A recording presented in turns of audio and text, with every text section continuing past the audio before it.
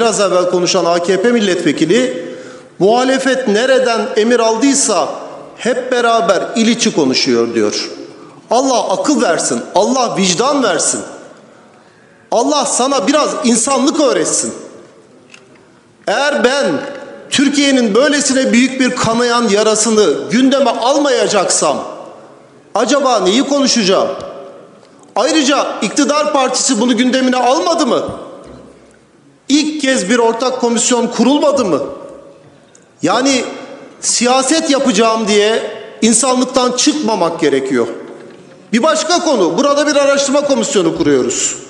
Araştırma komisyonunda yine öyle bir mimari kurulmuş ki muhalefet partileri azınlıkta kalacak. Umuyor ve diliyorum ki muhalefet partilerinin de iktidar partisinin de bu meselenin üzerine doğru gitme iradesi oluşsun.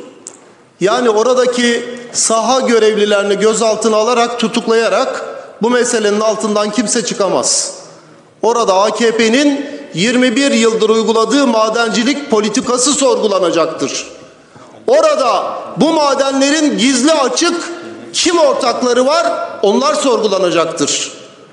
Orada helikopterlerle yurt dışına kaçırılan altının miktarı sorgulanacaktır. Orada çıkartılan altının yüzde 98'i neden yabancılara peşkeş çekiliyor? Elbette bunlar sorgulanacaktır. Bu rapor doğru dürüst ortaya çıktığında bugün bu facianın yalnızca bir doğa olayı, yalnızca bir madencilik faciası olmaktan öte aynı zamanda bir ekolojik bir yıkım, aynı zamanda bir iktisadi yıkım olduğunun da hep beraber farkına varacağız. Bakın 2011 yılında bir çılgın proje ortaya konuldu. İstanbul'a bir kanal yapılacaktı. Böylece Boğaz içindeki trafik rahatlatılacaktı. İstanbul'un doğusuna ve batısına Buyurun. Buyurun tamamlayın. sayın. toplamda 2 milyonluk yeni şehirler kurulacaktı ve böylece Türkiye buralardan büyük para kazanacaktı. Soru şu kadar açıktır. Ya 2011'in üzerinden 12 yıl geçti be kardeşim. 2024'teyiz. 2011'den beri konuşuyorsunuz. 2018'de bir daha kampanya konusu yaptınız. Ya insan hiç sıkılmaz mı ya? 12 yıldır konuştuğunuz ve yalnızca edebiyatını yaptığınız konuda bir tek ilerleme yok. İnsan biraz sıkılmaz mı? 2019'da İstanbul Büyükşehir Belediye Başkanı değişti. Ekrem İmamoğlu dedi ki İstanbul'un istediğinin, İstanbul'un istediğinin dışında hiçbir şey yaptırmayacağız size. Dediniz ki devlet projesi midir bu? Sen kimsin ki buna karşı çıkıyorsun? O da dedi ki ben seçilmiş belediye başkanıyım. İstanbullu ne derse onu yaparım. O gün bir çevre ve şehircilik bakanınız vardı. Buna sıkı sıkıya sarıl. Buyurun bitirelim sayın. Çevre ve Şehircilik Bakanlığınız İstanbul'a aday olmuş. Diyor ki bu gündemimizde yoktur. İstanbullunun acil ve önemli konusu neyse onun peşinde olacağız. Peki Kanal İstanbul, İstanbul'un acil ve önemli bir konusu değildiyse niye 12 yıldır bunu gündem yaptınız?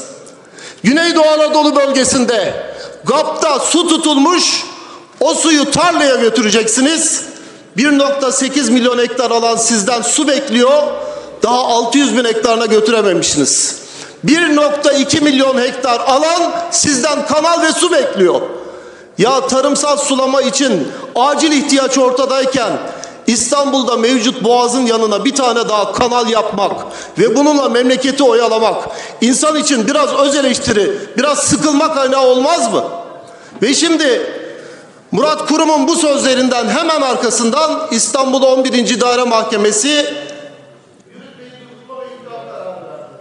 Buyurun bitirelim Sayın Günaydın. Birçok konu var.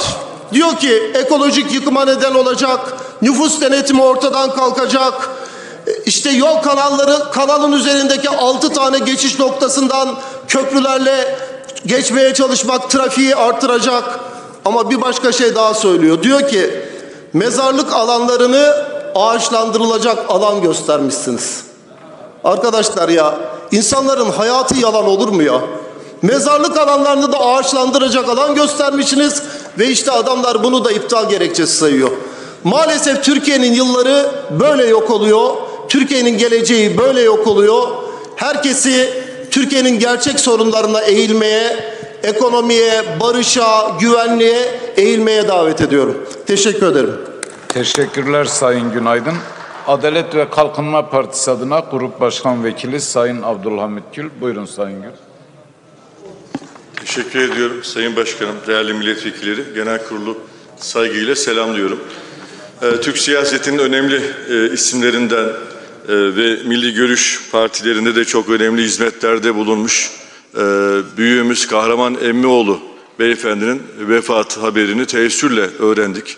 Refah Partisi, Fazilet Partisi e, milletvekilliği görevlerinde bulunan Gaziantep Büyükşehir Belediye Başkan adayı olarak 1994'te bayrağını asma seçim çalışmasında da bulunma e, beraber çalışma imkanı bulduğum e, İstanbul Büyükşehir Belediyesi Genel Sekreterliği yapan Sayın Cumhurbaşkanımızın Büyükşehir Belediye Başkanlığında e, çok değerli ilim adamı ve siyaset insanı Kahraman Emmioğlu ağabeyimize Allah'tan rahmet diliyorum.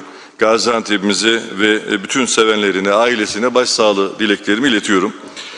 Gümüşhanemizin kurtuluşunun 106. yılını idrak ediyoruz. Ee, Gümüşhanemizi, bu vatan toprağını koruyan tüm şehitlerimizi rahmetle, minnetle yad ediyoruz. Gazilerimize sağlık, afiyet diliyoruz. Minnetlerimizi, şükranlarımızı e, sunuyoruz.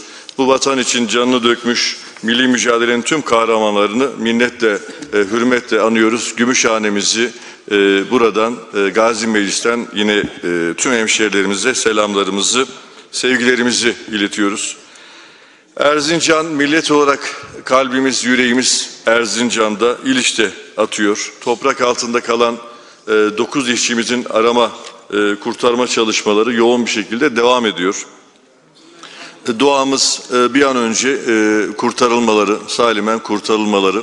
İlgili bakanlarımız e, yine e, oradalar ve tüm kurumlarımız yakından e, takip e, etmekte. Koordinasyon çalışmalarımız e, yine devam etmekte. E, gözaltına alınanların sayısı 9'a yükselmiş durumda. Adli idari soruşturmalar e, yine e, de- derinleştirilerek devam etmekte. Sorumluluğu, ihmali e, olanların e, en ağır şekilde adalet önünde hesap vereceğine olan inancımız tamdır. Dün de bilindiği üzere Gazi Meclisimizde tüm siyasi partiler olarak e, ortak e, komisyon kurduk. Bu konuda meclisimizin iradesini de e, tecelli etmiş e, bulunduk. E, inanıyorum ki kurulacak bu komisyon da ayrıca milletin emaneti olan, temsil vekalet durumda olan e, milletimizin değerli e, vekilleri tarafından da bu konu derinlemesine değerlendirecektir. Yerinde incelemeler yapılacaktır. Ve bu raporda bundan sonraki süreçlerdeki çalışmalara ışık tutacaktır. Ee, Ben bir daha böyle acıların yaşanmaması için de hem gereken tedbirleri bundan sonrası için de almaya e, ve bir daha böyle acıların yaşanmamasını e, temenni ediyorum. Dualarımızı yine Erzincan'ımıza, İliç'imize e,